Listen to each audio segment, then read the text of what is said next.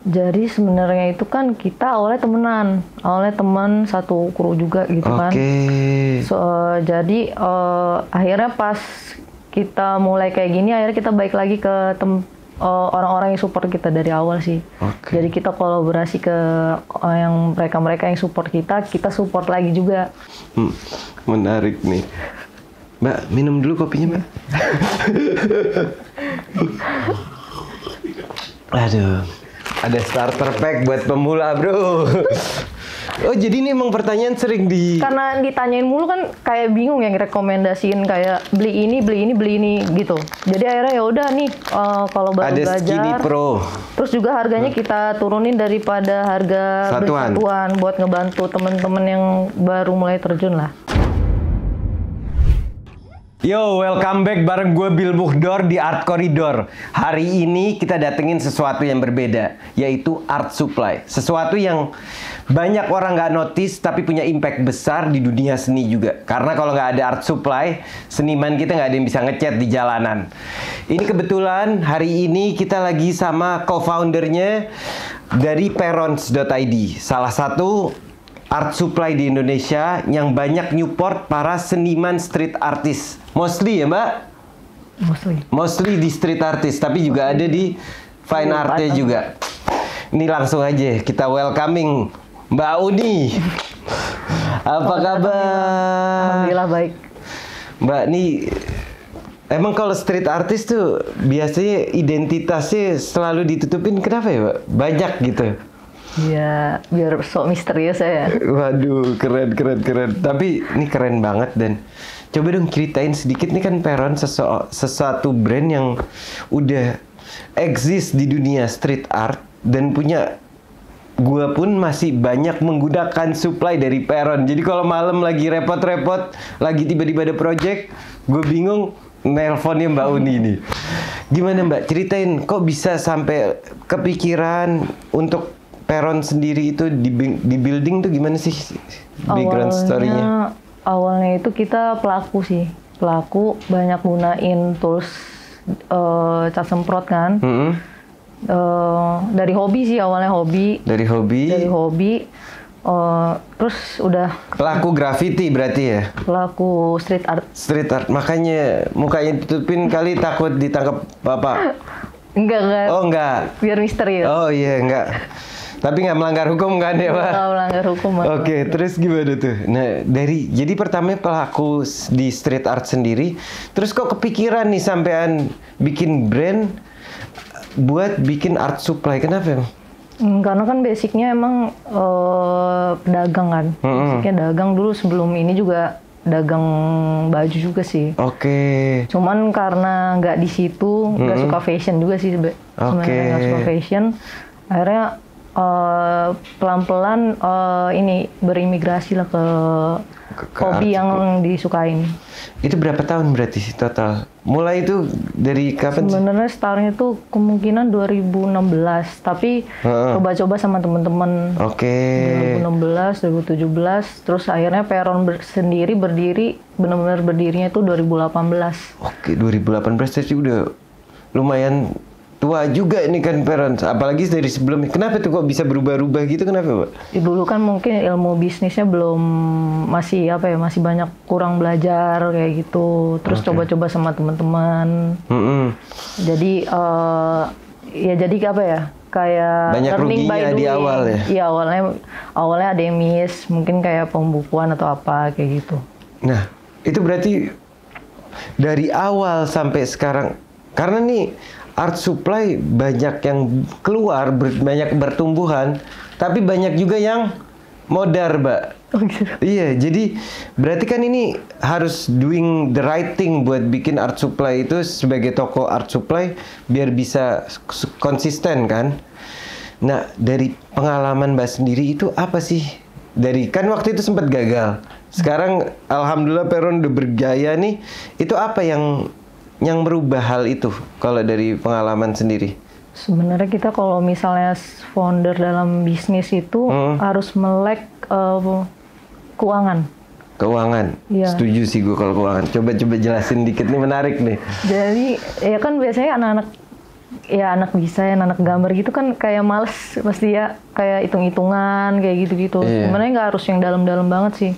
Cuma emang kunci biar eh, bisa survive bisnis itu di, Keuangannya di ya. keuangannya. Financial educationnya berarti harus ada ya. Iya, tapi standar aja sih. Cuman jangan sampai enggak aja. Sampai Nah, lo sama- waktu itu bisa gagal itu apa yang salah? Iya, kayak pembukuan pencatatannya nggak jelas kan. Oke, pencatatan jadi harus penting banget Wah, ya. penting banget, penting banget di situ.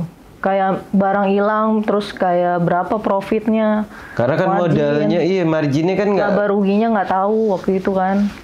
Iya, berapa modal awalnya, modal akhirnya nggak nggak Oh jadi pertama bikin itu nggak pakai hitung hitungan sama sekali itu kan deh. hitung hitungan tapi kasar banget, kasar banget kayak Oke. di buku atau di Excel. Mm-mm. Excel juga kadang eh, garis besar aja gitu. Oke. Harus ya apalagi kalau misalnya kita jual barang perintilan gitu kan Mm-mm.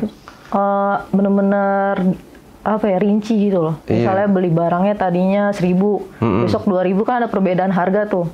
Itu kan ada rata-rata kalkulasi harga rata-rata kan. Flux kalau dari art supply sendiri sebenarnya Hmm? price-nya itu fluktuatif apa enggak sih mbak? Maksudnya Harganya? Iya.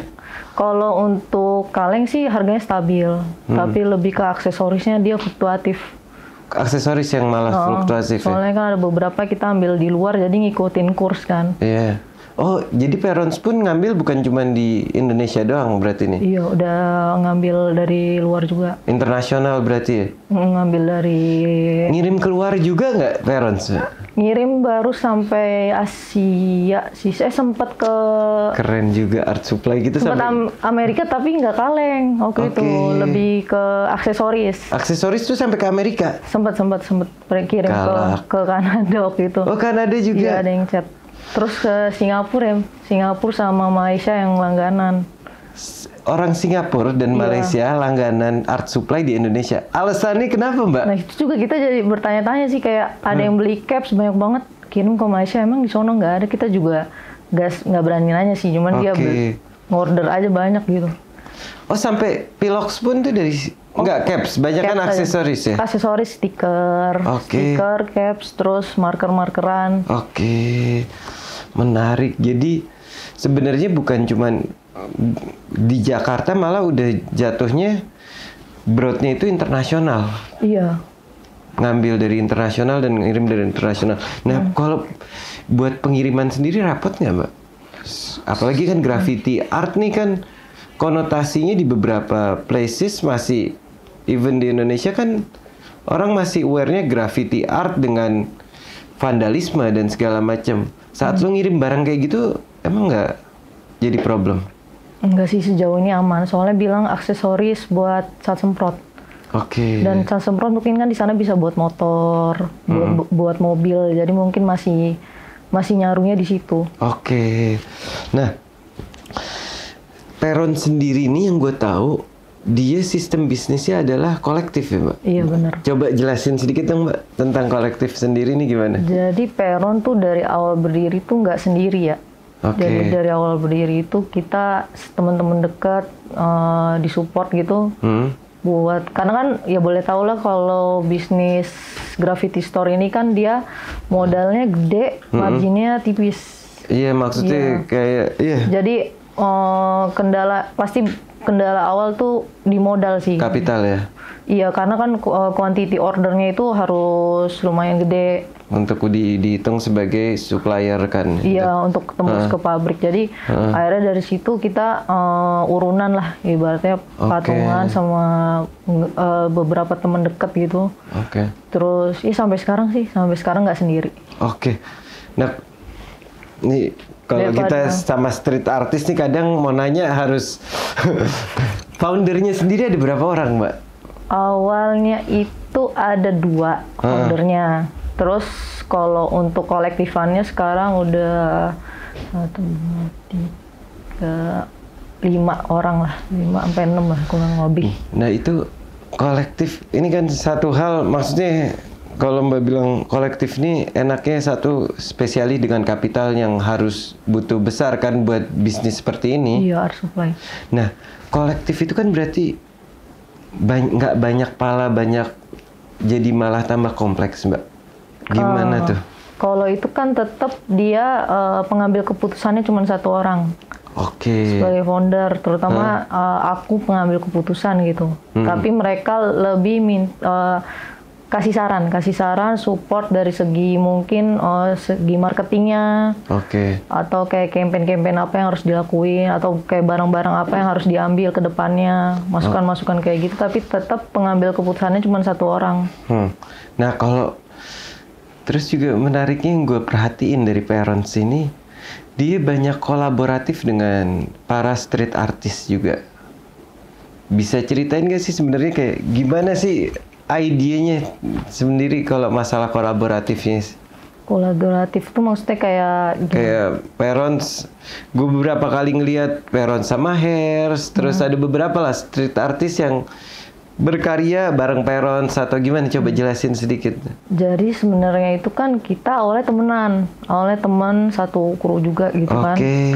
So, jadi eh, akhirnya pas kita mulai kayak gini akhirnya kita baik lagi ke tem orang-orang yang support kita dari awal sih Oke. jadi kita kolaborasi ke eh, yang mereka-mereka yang support kita kita support lagi juga Oke, community sistemnya Peron sendiri itu penting nggak sih, Mbak? Menurut lo itu impact kesuksesan Peron dari community system itu seberapa besar, Mbak?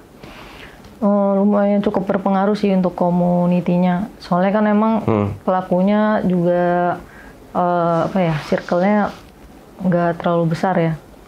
Street art emang di situ-situ aja ya? Iya pelakunya sih sebenarnya banyak, yang baru banyak. Eh. Tapi maksudnya ya mereka eh, kayak support acaranya kayak gitu-gitu sih lebih ke sananya. Apa yang biasa Peron lakuin untuk Jadi gerakin itu?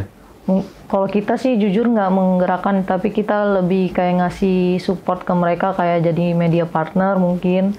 Terus mung- kita juga open kolaborasi buat yang mau collab atau kayak gimana. Oh gitu. Jadi even berarti seniman-seniman yang nontonin ini ini podcast juga bisa ikut di kolaboratif itu. Ya lebih ke event ya, lebih Event. ke event.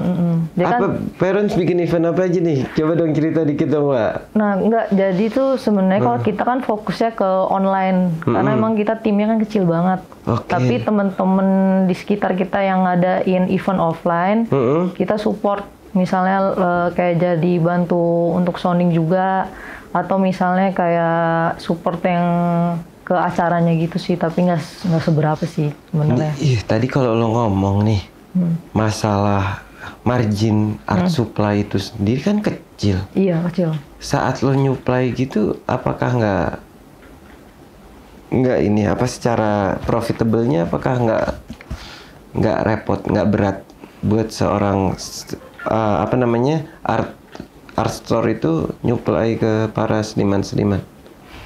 oh untuk ini sponsor atau kayak gimana? sponsor nah kita kan juga sebenarnya kan dapat bu apa ya dapat kiriman juga kayak dari brand-brand. Nah mungkin nanti kita salurin lagi ke teman-teman. Oke, jadi emang benar-benar environment-nya itu di building ya, Mbak? Iya, misalnya kadang bisa kita order sekian dapat bonus kan dari pabrik. Oke. Nah, itu kita juga kasih ke teman-teman yang udah support Peron. Hmm. Teman-teman yang apa ya, me- apa membantu di Peron gitu loh. Kita salurkan lagi ke mereka.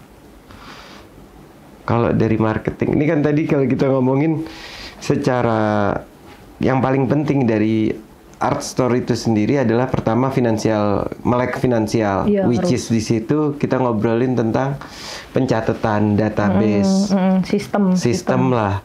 Karena apalagi dengan margin yang nggak terlalu besar, dengan modal yang besar itu kan satu miss out aja harus buat nutupinnya harus berapa, Berapa kaleng untuk kaleng. dijual kan? Betul, betul banget. itu satu kedua marketing ini kan juga lo punya barang banyak tanpa ada marketing bakal perputarannya bakal sepi kan Iya, betul. gimana cara parents itu berputar produknya itu bisa cepet biasanya apa aja yang dilakuin mbak Kalau tahu. Biasanya itu kita eh, jujur di Peron itu kita kadang suka diskusi sih bareng, ngobrol-ngobrol kayak kita bikin apa lagi ya. Kayak kadang ada masukan, eh coba platform ini. Oke. coba media sosial ini terus eh, sambil belajar sih. Jadi kita tiap tahun tuh belajar. Kadang kita juga salah satu dari kita mungkin nonton YouTube atau ikut webinar juga kayak tentang fundamental bisnis atau kayak marketingnya. Yang murah-murah aja sih yang kadang suka diadain kan secara online. Itu kita pelajarin juga. Penting berarti study terus itu ya. Iya, karena jujur kalau di Peron itu kita fokusnya itu ke pengguna baru. Oke. Pengguna baru. Jadi kita emang pakai media eh, platformnya itu kayak TikTok. Oke. Terus eh, kita juga buka di eh, e-commerce juga kan. Oke. Di mana itu banyak orang-orang yang benar-benar eh, awam banget sama graffiti. Jadi kita edukasinya di situ. Problemnya apa dengan orang-orang baru tuh biasanya apa sih yang yang mereka tuh pertanyaan-pertanyaan yang mereka apa Mereka- sih? Mereka tuh kayak nggak bisa bedain caps jen- jenis-jenis capsnya pertama. Oke. Terus mereka tuh suka samain yang di toko bangunan sama yang di graffiti store. Coba jelasin dikit Mbak, ini menarik nih. Dah, dari tadi kayak gimana? Bedanya yang di toko bangunan sama yang di graffiti store tuh apa Mbak? Ya kalau di toko bangunan kan dia ada selangnya gitu kan, ada selangnya. Nah itu kadang suka nggak Male sama female-nya Iya, maksudnya? yang kayak gitu. Terus kadang kayak udah dijelasin panjang lebar, baik lagi apaan bedanya male sama female kayak gitu. Akhirnya kita pakai bahasa yang rada-rada apa, rada-rada mudah tuh ya. Kalau ada selang itu apa ya bahasanya? Sel- kalau kan male, Hah, male kalau laki caps. ada selagnya. Enggak, caps kan capsnya kan male nih. Berarti kan dia ada selangnya itu. Kalengnya female kayak gitu. Jadi dia oh, baru dalam. baru notice kali. Iya baru kayak gitu. Tapi kalau dijelasin secara apa sih Mel deskripsi itu gini wajib- gini gini nggak nanti baik lagi nanya Nggak lagi. hadir mereka kali. Iya, bisa nanya terus nanya detail banget sih. Nah, terus kalau dari kualitas sendiri lo menjelaskannya gimana sih Mbak? Bedanya kualitasnya di bangunan sama yang di art supply. Sekalian aja kita bahas ini jadi teman-teman yang baru mulai juga bisa paham itu hal itu. Karena kan kalau yang di toko bangunan itu kan dia eh, tujuannya kan buat besi, besi sama lebih ke motor ya. Hmm. Jadi dia rada rada rada apa? Rada-rada ini sih cair gitu. Oke. Tapi ada juga yang bagus sih kayak beberapa beberapa brand. Tapi tujuannya itu kan buat motor, jadi banyaknya metalik gitu loh, banyak Oke. yang glitter-glitter kayak gitu. Kalau di yang kursus buat graffiti dia hasilnya doff terus turunan warnanya banyak banget. Jadi lebih variabel warnanya ya. Iya lebih. Jadi kayak warna merah aja bisa turunannya banyak banget. Oke. Kalau yang di toko bangunan paling merah satu doang kan, merah, kuning, biru, hijau. Nah kalau ini merah, merah aja ada merah muda, merah tua. Nah itu gimana lo mengatur supply? Itu kan berarti lo harus beli barang banyak dan juga variabelnya ini kan es apa namanya variabel produknya tuh banyak banget kan? Gimana lo keep it track dan memilih kayak supply-nya ini harus sekian, harus sekian. Gimana tuh, Pak? Nah makanya itu karena dari awal Peron berdiri gue pakai sistem kan, sistem maksudnya kayak pihak ketiga gitu loh, software software Oke. pencatatan penjualan. Nah itu kan bisa nanti di dashboardnya itu bakal ada lab report report bulanan, Oke, jadi automation. automation karena dulu nggak automation bisa mampus sih, Iya, ini kayak dukun sekarang. kayak dukun gitu nebak-nebak Iya. mana barang yang laku padahal realnya kan Iya, perasaan aja kan perasaan doang. kadang baperan akhirnya kalau pakai perasaan. iya makanya. Tapi kalau data kan nggak bisa bohong, maksudnya Hmm. kadang kita terlalu pro kayaknya speedo ini yang laku gitu. Iya. Padahal datanya nggak kayak gitu. Kalau udah buy data kan nggak bisa ngomong udah apa-apa udah lagi. lebih var iya nah setelah berarti salah satu sistem tadi ini banyak banget ya yang berarti harus dipelajari sebenarnya profitable nggak sih bikin art supply ini apa cuman hobi aja Awal-awal itu emang kalau ngerintis bisnis, awal-awalnya ini sih bisnis itu harus bisa survive banget. hmm. Cuma nanti mungkin gue eh, dulu sih udah karena udah sempet pengalaman di bukan di graffiti, Hmm. Jadi udah udah udah ancang-ancang kira-kira 1 sampai 2 tahun itu minimal operasionalnya dia nggak minus. Karena kayak gitu. Satu sampai 2 tahun targetnya kayak gitu. Karena berarti di emang di awal tuh struggling juga ya struggling struggling banget. Hmm. Cuman kayak kebetulan kita juga maksudnya kan kerja ya di Hmm. tempat maksudnya mas- masih bekerja juga. Jadi eh, kita biarin ini peron ini kayak tumbuh dengan sendirinya. Ini beneran struggling apa biar nggak ada yang besok nggak ada yang bikin art supply baru? Beneran, beneran. Oke. Soalnya kan banyak yang kayak kakak bilang kan banyak yang Hmm. Tumbuh tutup- tapi banyak juga tutup yang kan. banyak yang tutup juga. iya. Satu tahun dua, ya di bisnis mana pun sih kayaknya deh. Kalau nggak cuman art supply doang, Hah. satu tahun dua tahun pertama tuh struggle sih. Oke. Mungkin kalau dia hebat terus kemampuan eh, bisnisnya bagus, mungkin nggak perlu waktu lama ya buat Hmm. ngembangin itu. Nah, dari hal tadi sendiri Mbak, apalagi kalau kemarin pas COVID, gimana lo mengatasi pandemi? Apakah street art pada tambah rame atau tambah layu Mbak pas zaman pandemi sekarang? Pas pandemi kayaknya semua ini ya, semuanya Sektor tuh ya, kecuali semua sektor, kecuali baru kesehatan. Semua sektor tuh kena dampaknya sih. Tapi di art secara general sih sebenarnya kan pandemi malah bisa dibilang ada kenaikan kan orang pada bosen di rumah akhirnya pada beli lukisan kan di satu sisi. Oh. Apakah mereka juga ngegrafiti di luar atau melakukan painting di luar? Jujur pas 2020 awal itu sempet anjlok. Karena Banget. ke- anjlok, anjlok banget. Oke. Anjlok banget pas awal bulan Maret itu. Hmm. Kan dari grafik Shock kan. ya itu kan. Iya dari grafik terus coba diskusi sama kebetulan juga punya teman-teman yang bisnis juga kan kayak ngobrol-ngobrol nih ambil keputusan dari mereka ngambil keputusannya kayak kira apa Heeh. terus juga punya saudara kan pedagang juga kayak Heeh.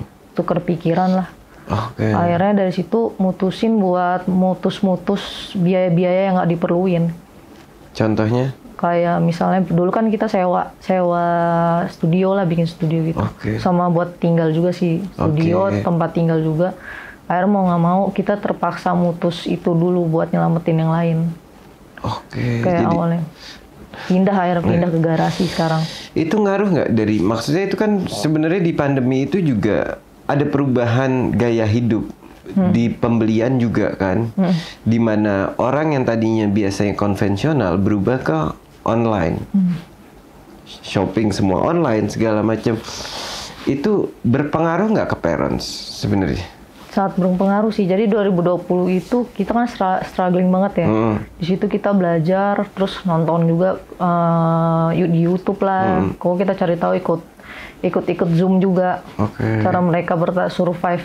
Akhirnya dari situ sama sama tim kita ngobrol kayak kita harus bikin apa ya? Akhirnya kita mulai adaptasi buat uh, fokus di marketplace. Oke. Terus kita buka lagi. Kan tadinya cuman di marketplace hijau tuh Hmm. terus kita coba lagi marketplace orange juga habis itu kita coba buka di TikTok juga kan buat uh, pengenalannya Oh, itu ngebantu banget sih tiga itu marketplace dan sosial media baru emang marketplace oh jadi benar-benar berubah total tuh waktu ya Iya, dulu waktu kita awal main tuh kita sempat grogi juga ya kayak di TikTok kan dulu banyaknya joget ya. Mm-mm. Awal-awal itu. Oh berarti belum nge-follow Bill Muhdar tuh. Ih, Udah kayaknya waktu itu baru baru baru baru mulai Iya, iya, deh. iya. 2020 awal kan. Eh, 2020 iya, awal kan. Nah, kita juga Iya. mulai bikinnya tuh 2020 awal ya kalau nggak salah 2020 awal. Mm. Itu masih masih masih banyak joget tuh waktu emang. Iya kan, masih Iya. banyak joget kan, belum kayak sekarang. Kayak kalau ngomong TikTok udah bayangannya langsung jogetan kan. Iya, yang anak graffiti juga dulu masih dikit banget ya, masih dikit banget. Makanya kita sempat, aduh, ini bisa nggak ya di sini gitu. Soalnya kan dulu jadi cengan gitu kayak, dulu kan joget deh isinya. Iya. Jadi kalau denger TikTok tuh kayak eh, apa tuh Tapi kesannya bikin graffiti joget udah pernah nyobain Baron? belum belum belum belum belum mungkin. Tapi Oke. parah sih itu Nah. emang apa ya? Gila sih itu trafficnya ngaco. Iya. Oke. Nah, terus apa namanya? Tadi dari berarti eh, sekarang fully hampir online rata-rata di Peron sendiri. Oh, kita masih offline. Offline Cuma masih? buat pelanggan yang udah tahu. Setia baru Iya. online. Eh, untuk yang baru-baru di online. Tapi banyak juga sih dari pelanggan baru juga, karena kan kita sematin di Google Bisnis kan. Mm-mm. Jadi kita juga kadang kedatangan pelanggan random yang belum kita pernah ketemu sebelumnya. Ini menarik nih. Mbak cerita salah satu pelanggan atau experience lo Hmm. Yang bukan dari street art yang lo kaget tiba-tiba pelanggan itu ada nggak sih? Ada ada yang aneh. Yang aneh kayak apa coba contoh? Jadi dia tuh eh, lihat dari Google. Heeh. Terus kayak bul- bule dari Rusia apa dari Inggris gitu. Jalan kaki entah dari mana datang-datang tuh udah kayak bawa tas ini loh, bawa kayak mau mudik gitu loh. Backpacker gitu iya. ya? Terus eh, nggak boleh di pos, nggak boleh di pos. Oke, Makanya karena lo jadi dipikir konten ini dong. Iya kan maksudnya kan eh, kita nanya dong Iya. kayak Instagramnya apa Oke. karena kita nggak kenal kan. Terus kayak dia nggak mau ngasih tahu gitu. Oke. Belanjanya banyak banget lagi. Makanya kita kayak ketemu pelanggan-pelanggan kayak gitu nih siapa ya? Heeh. Misteri. Terus kadang juga yang lucunya tuh kayak ibu, ibu-ibu nganterin anaknya belanja. Tapi Serius? ya jadi katanya daripada anaknya tawuran, mendingan dia menyalurkan hobinya. Waduh. Ada juga eh, dari luar Keren kota. juga tuh, Pak. Siapa namanya? Kamu top tuh itu. Ya udah aja. dari juga dari luar kota dia dia bilang katanya kan eh, dia jalan-jalan sama bapaknya ke sini ke keluarga besar lah terus dia bilang nanti mau mampir ke to- ke peron gitu Oke. Taunya dari daerah Jawa nggak salah. Ma- masih kecil juga jadi dianterin bapak ibu kakak semuanya Oh, jadi piknik keluarga Iya. ke peron. pernah lab yang paling random gitu sih itu oh, gitu. Jadi ada happinessnya juga bikin apa sih coba cerita ini seru juga. Kalau peron tuh lo pernah happiness moment lo di peron tuh apa mbak? Ya, kayak gitu denger kayak ada pelanggan pelanggan yang kita belum pernah ketemu sebelumnya. Mm-mm. terus eh, nggak maksudnya nggak dari bidang street, Street art, art aja. ya. terus sekarang berkesan sih ceritanya kayak ibunya support anaknya full banget gitu.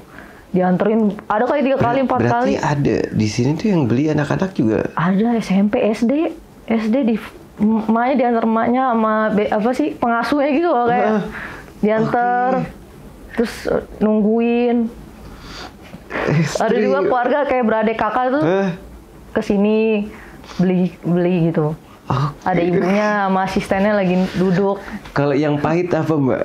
Kalau yang pahit pengalaman lo di parents apa? Kira- pahit apa ya paling itu sih kita dulu awal-awal 2020 itu kan Hmm. karena pandemi kan offline terjun bebas kan Iya.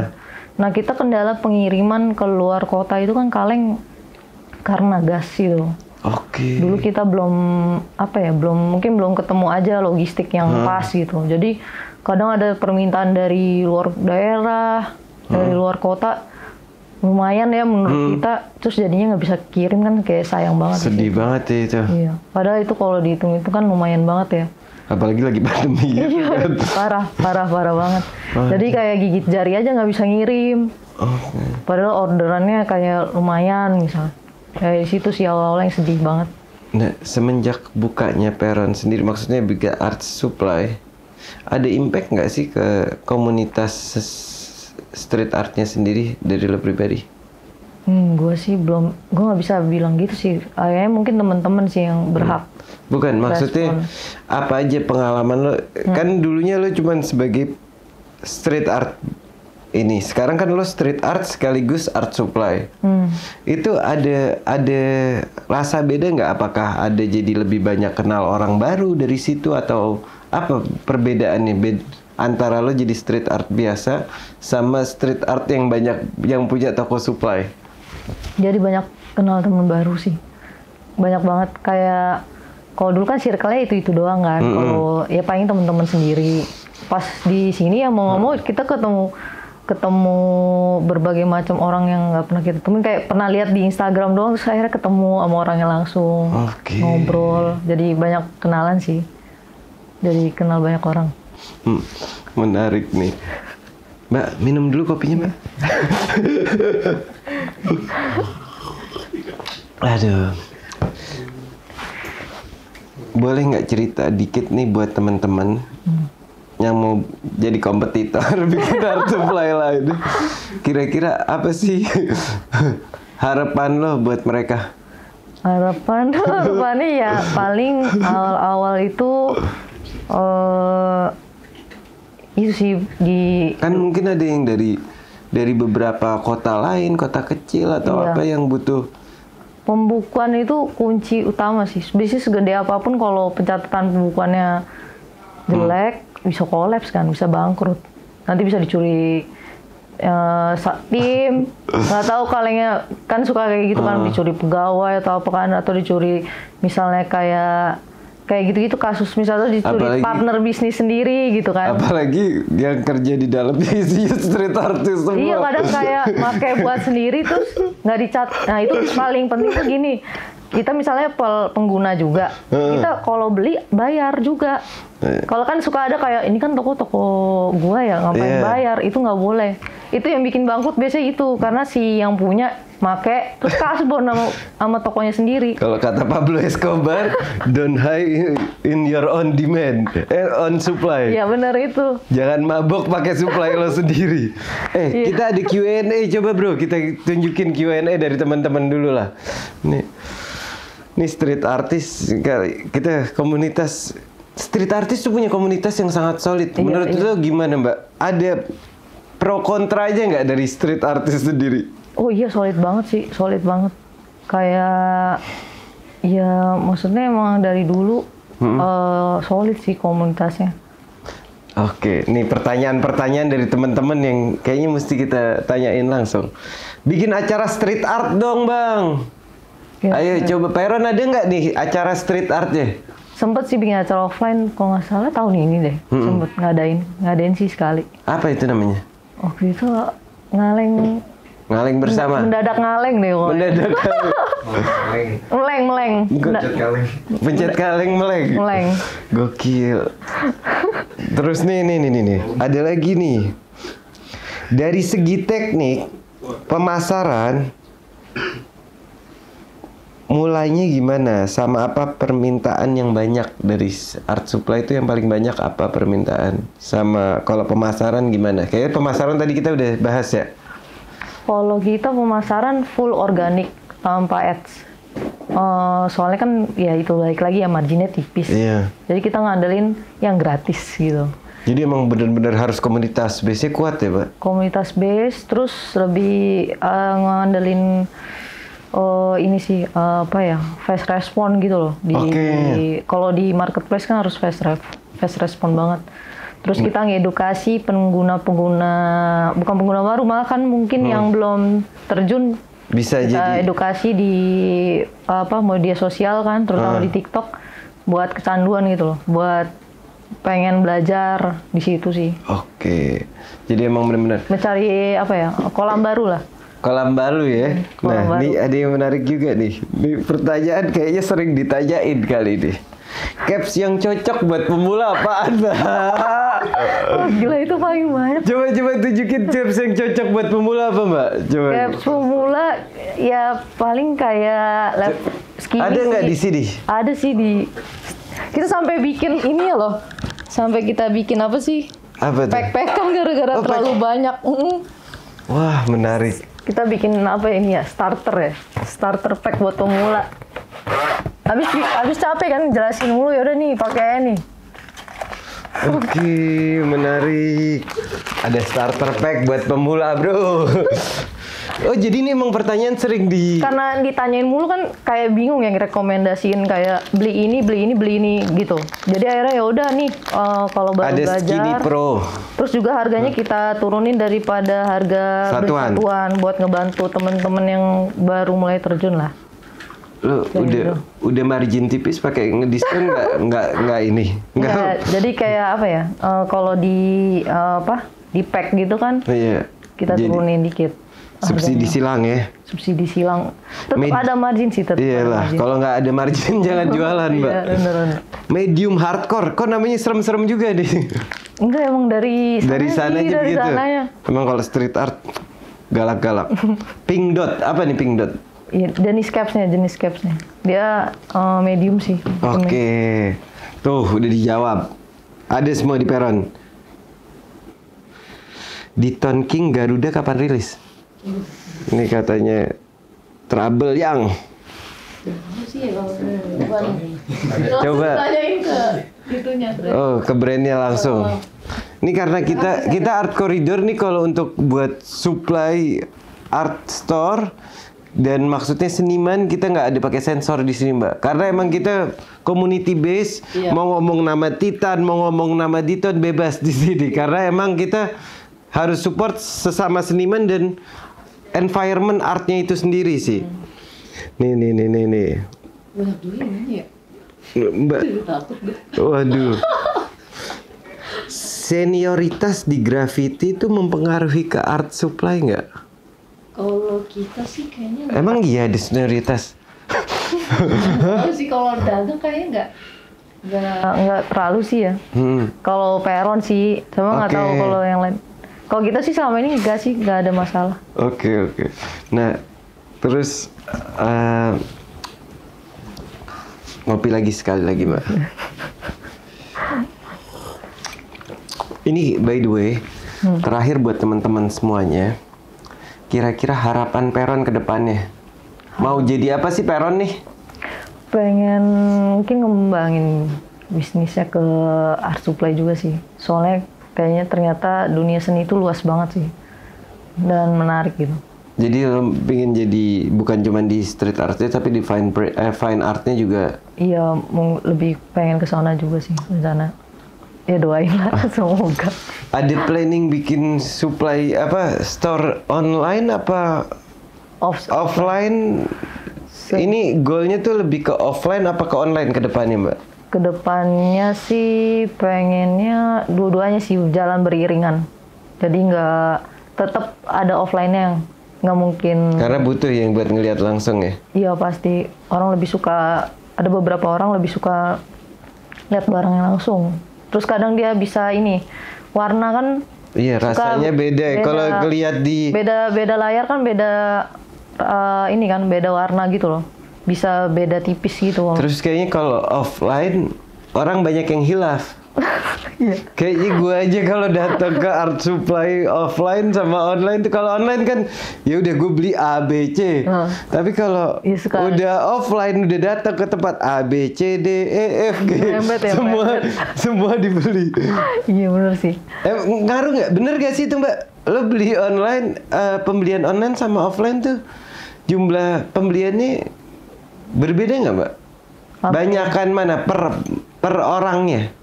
per orangnya tetap masih banyak kan kalau dia kadang pelanggan online karena kuantitinya banyak akhirnya kan berat di ongkir tuh mau nggak mau dia datang Oke. nyamperin toko biar menekan biaya pengiriman Hmm, hmm, hmm, hmm. jadi hampir sama sih sama-sama aja Oke.